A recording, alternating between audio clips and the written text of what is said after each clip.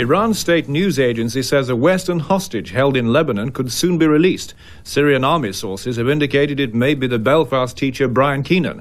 Mr. Keenan was kidnapped four years ago while working as an English teacher at the American University in Beirut.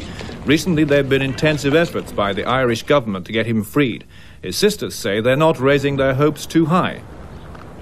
We have been down this road so many times over the last four years, and I wouldn't get too optimistic.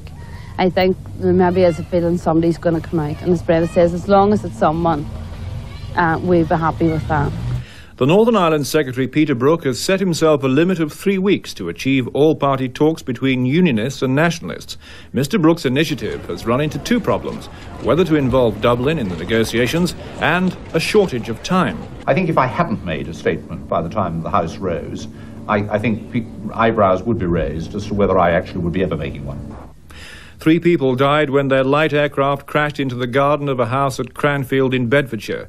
The Piper Cherokee hit an outhouse as the pilot was trying to land at a nearby airfield. It had been taking part in a race.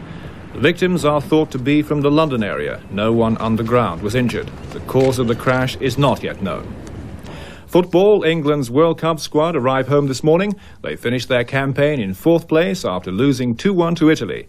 The host took the lead through a rare error by goalkeeper Peter Shilton, Baggio nipping in to steal the ball away, Schillaci laying it back for Baggio to score. But England again showed their ability to come back, David Platt scoring with a superb header 10 minutes from time. But when Paul Parker brought down Schillaci in the box, it was all over. The forward converted his sixth goal of the competition. Martina Navratilova has become the first woman to win the Wimbledon singles title nine times. She beat fellow American Zina Garrison in straight sets 6-4, 6-1. Like Pat Cash three years ago, she ran into the crowd to thank her friends.